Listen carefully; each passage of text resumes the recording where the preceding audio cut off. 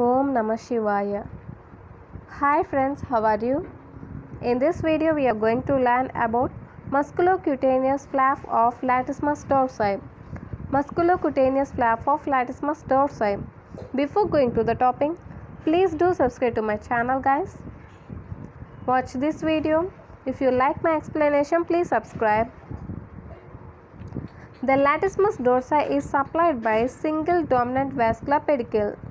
Okay, latissimus dorsi is supplied by single dominant vascular pedicle and this single dominant vascular pedicle is formed from thoracodorsal artery. This single dominant vascular pedicle is formed from thoracodorsal artery. This thoracodorsal artery is a continuation of subscapular artery. Thoracodorsal artery is a continuation of subscapular artery.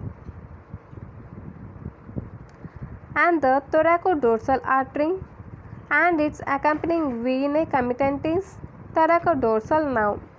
These three guys see once again thoracodorsal artery and its accompanying venae comitantes and thoracodorsal nerve. These three descend in the posterior wall of the axilla.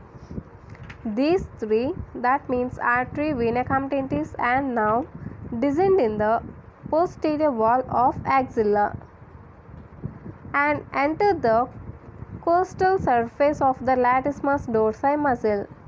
And these three enter the costal surface of latissimus dorsi muscle at single neurovascular hilum.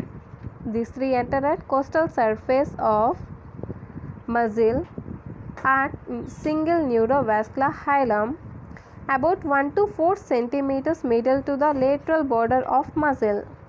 About it enter about 1 to 4 centimeters medial to lateral border of the muscle. Okay guys.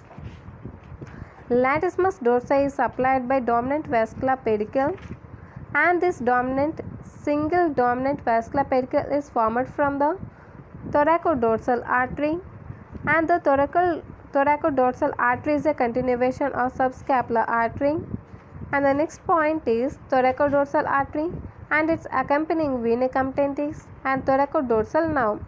These three descend in the posterior wall of axilla.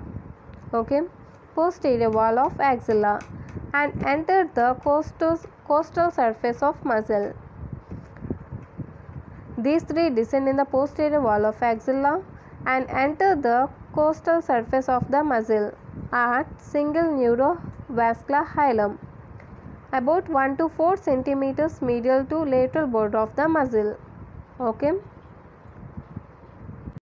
And the presence of single dominant vascular pedicle provides anatomical basis for raising muscle above raising the latissimus dorsi muscle above or along with the overlying skin in the form of musculocutaneous flap and the presence of single dominant vascular pedicle provides anatomical basis for raising muscle above or along with overlying skin in the form of musculocutaneous flap. Next, about the musculocutaneous flap of latissimus dorsi. Musculocutaneous flap of latissimus dorsi used in the reconstructing a breast following the mastectomy.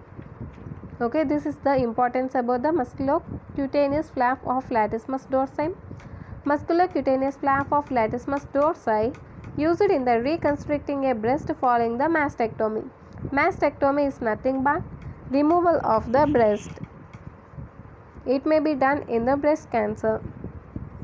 Okay, this is about the musculocutaneous flap of latissimus dorsi. I think it is clear, guys. If you like my explanation, please like, share, and don't forget to subscribe. Thank you.